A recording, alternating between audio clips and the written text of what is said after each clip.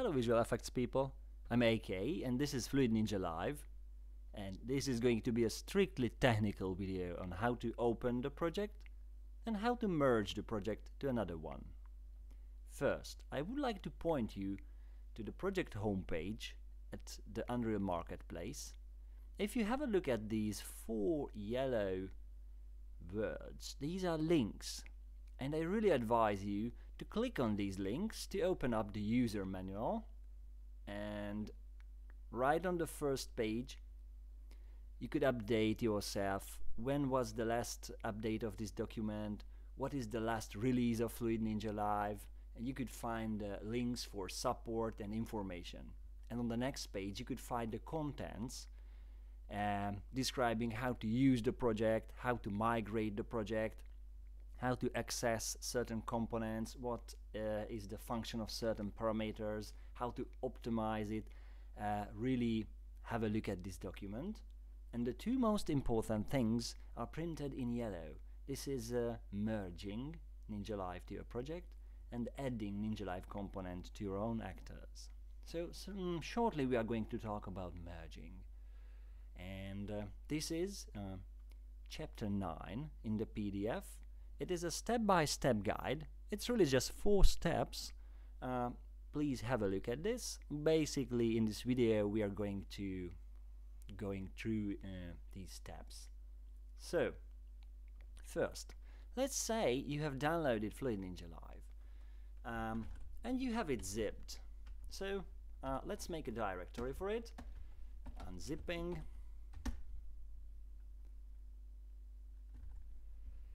And if you have a look at the U project with the notepad, you could see that the project has been made in Unreal 4.23 and we would like to maintain compatibility um, with uh, 4.24, 25 and 26 so we are not forking we are not making separate branches but we are trying to maintain this single branch until it's possible so the first thing I would like to do is open this uh, 4.23 project in a 4.25 Unreal and see what happens. So I'm opening Unreal and trying to say import or open the project.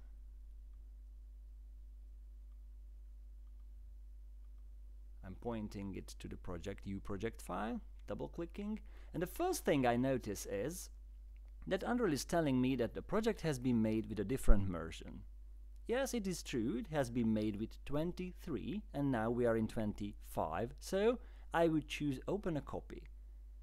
This is not an error message, it's a natural thing that Unreal would like to update the files to the version that we are using. Okay, the first thing uh, that we should do is to press play and see if everything is okay or not uh, try to go through the test levels and do as the instructions tell you, like uh, watching, visiting various scenes, and in the Fluid Ninja folder, in the tutorial subfolder, you could find the levels. Uh, so please try to open up various levels, try to go through these stages and really just following the instructions and going through the levels one by one and figuring out if everything is fine, if things are working as they should be. And there's one thing I have, I have spotted on uh, level 9, for example. If I start this level and I approach this guy in the swimming pool, I could notice that the red balls are not leaving trails at all. Well, they should be. And in the manual you could read about this. The point is that uh, Unreal is not giving us any error message and there are no signs of deprecation or data loss, but still we have to open Ninja Live Blueprint, press compile, save, and if we play again the scene, the balls are leaving trails.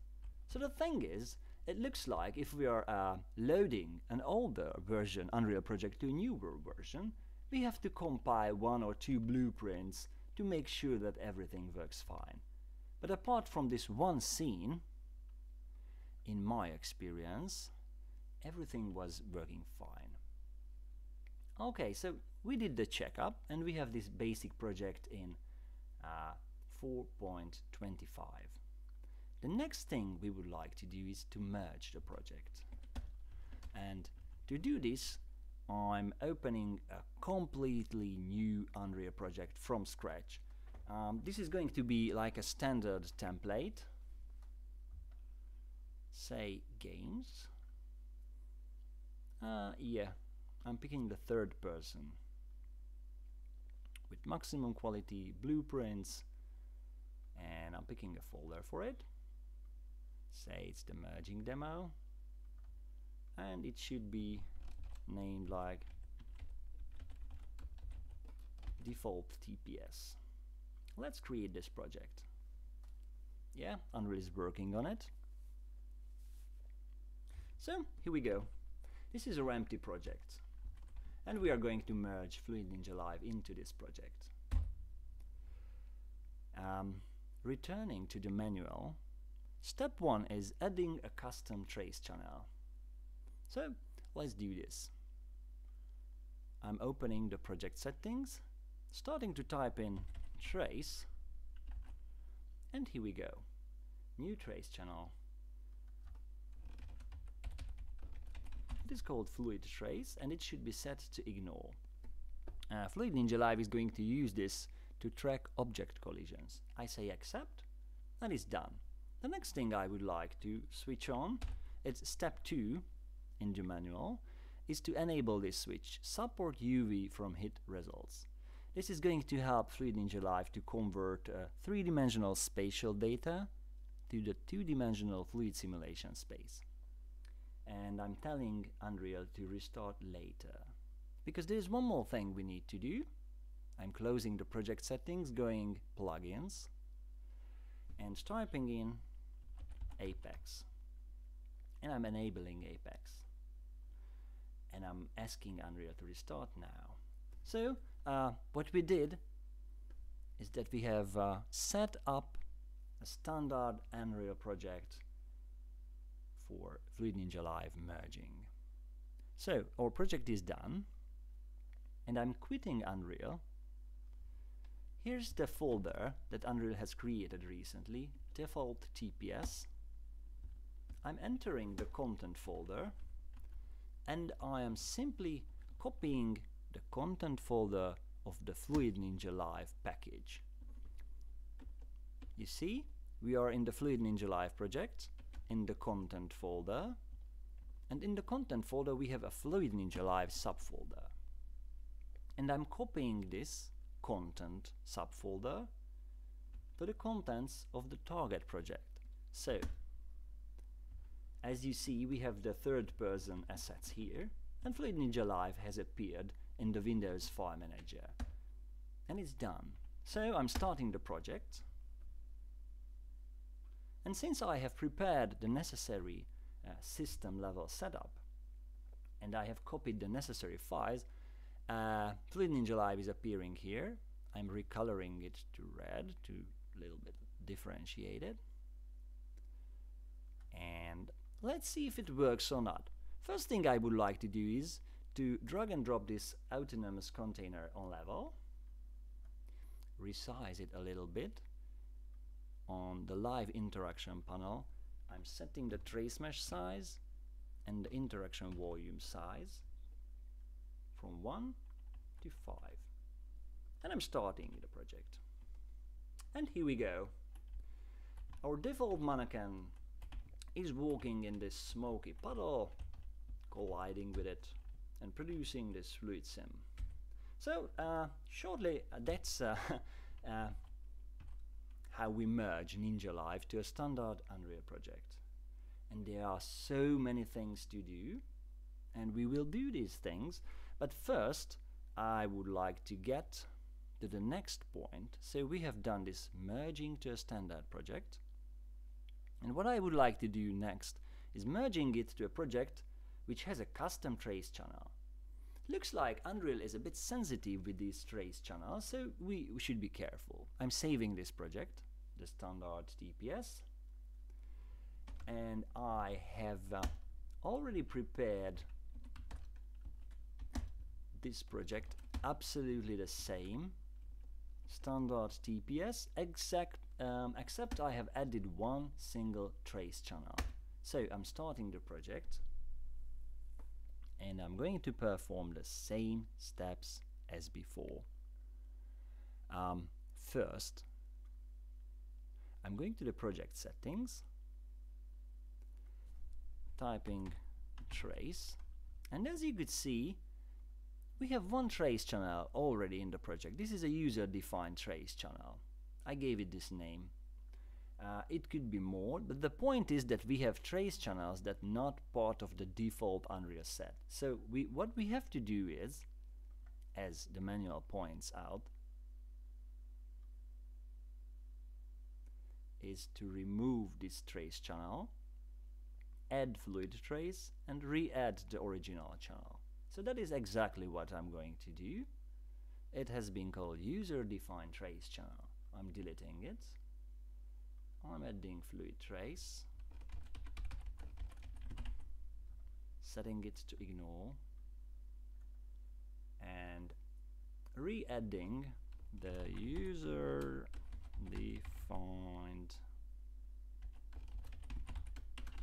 trace channel with the default response of blocking. So we have two trace channels now, but the point is that fluid trace is number one. This is very important because seemingly if you place it uh, second in this list, uh, it's not going to work. So we have done this and we do uh, the same thing with the UV. Restarting later please and we do the plugins with the Apex enabling it and yes please restart now so we have a modified project with a custom trace channel and we have uh, prepared this project to merge Ninja Live and I'm going to do the same thing opening up the content folder of the project entering the content folder of Ninja Live and copying the Fluid Ninja Live subfolder and it's done. So I'm starting, restarting the project again.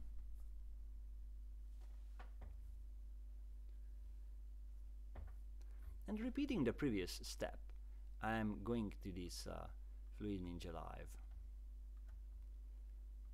subfolder and dragging the Ninja Live actor on level. Again, setting the scale to 5 and checking if it is working or not. And fine, so we have merged Fluid Ninja Live to a project with a custom trace channel. Um, an important thing I would like to show you, going back to the Windows File Manager, so we are in the TPS project folder and I'm entering the configuration, the config subfolder. Here you could find a file called default engine ini. I'm opening it up with a Windows text editor and looking for fluid trace. Uh -huh. These two lines are very important. Uh, you might notice that uh, they belong to this default channel responses flag and they have um, an integer index number besides them. And so Fluid Ninja Live should be game trace channel 1. Otherwise it will not work. And I'm closing this ini file, returning to the editor. And we'll see a bit more if I'm uh, resetting this transparent material to uh, an opaque one. I'm selecting Ninja Live component you might have noticed that I have rescaled the actor detail panel to reveal the full list of these actor components. Again, returning to the website, here's this frequently asked questions document. I'm just opening it up And the first and most important question, how do we localize the Ninja Live component panel? And here is this visual guide for it. Rescale the panel and try to select the component that way. So again, I'm advising you to visit these PDFs, these manuals and watch the tutorial videos because these are key uh, to understand these little nuances of how Ninja works. Returning to the Unreal Editor, I have selected Ninja Live component and in the live generic options we have like output materials. It's a, a user-defined list, so you could add your own materials here, but I'm spotting that we have an opaque material at the zero slot. So I'm rewriting this number to zero and hopefully we have like an opaque red container. Okay, um, once you have merged Ninja, the next thing you would like to do is to filter interactions and figure out which objects could collide with the container and which objects should not collide. Right. Um, if you click on this uh, simulation container in the live interaction group, you have this uh, overlap filter inclusive. This is uh, the list of classes that the container is uh, currently expecting. Static, dynamic, destructible, pawn, and physic body.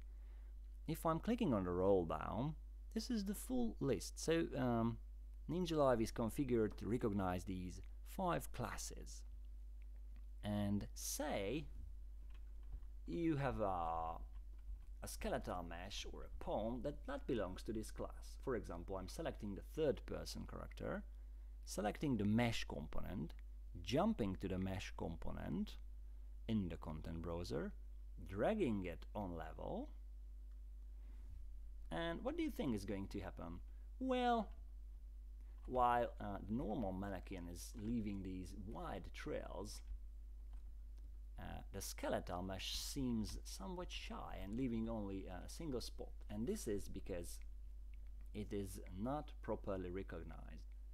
What we should do is, and again it is described uh, in the manual, go to the details panel, to the collision settings and configure this physic actor as pawn. And hopefully now all bones being tracked. Now what if I don't want all bones being tracked? Just uh, the legs, say, or the feet. Again, I'm selecting the container and uh,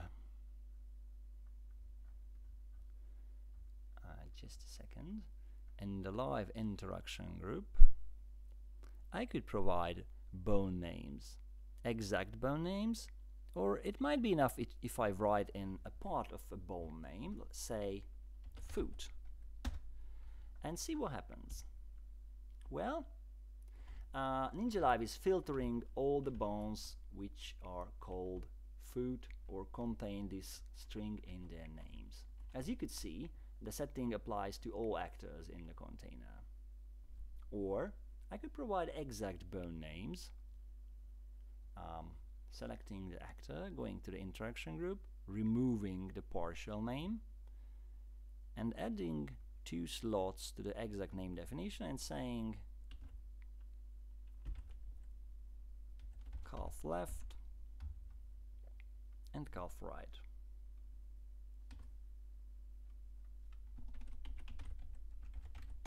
See what happens.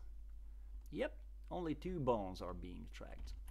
So this is how I have been filtering for the pawn class, reconfigured the skeletal mesh to be a pawn class, and how I provided bone names. Mm, the next thing I would like to do is to um, add some random object. I'm rescaling it to be the size of a football. I'm enabling it to behave like a football and here's the key setting and again in the collision settings I should say that it should generate overlap events otherwise Ninja Live will not be able to detect its overlapping so here we go As you can see, uh, the ball has a small uh, smoky trail around it. And it's going to be a bit fast, yeah. How about giving it a bit more weight? Making it like uh, 500 kilograms. That's a heavy ball.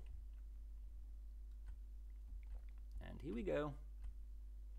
We have defined this overlap thing for the ball and we have defined this skeletal mesh thing in the manual going uh, to the contents you see 10.5 interaction setting up objects to trigger ninja live response. Uh, this is the place where these tricks are described. And most importantly if you go to the Fluid Ninja Live per tutorial per levels we have like a uh, 20 separate levels. And these levels have been made to demonstrate all these possible settings example uh, we have seen a destructible colliding here. Or on other levels uh, we could see uh, a high resolution ray march setup and we have all these setups and if you click on the containers in these setups you could easily uh, have a look at these parameters and figure out how these settings are used so I advise you to have a look at this 20 tutorial levels and have a look at the manual PDF and the frequently asked questions PDF and that's how you get to know Ninja Live. And later on I am coming up with more tutorials. Well mm, that's it for now. Thank you for your patience and see you next time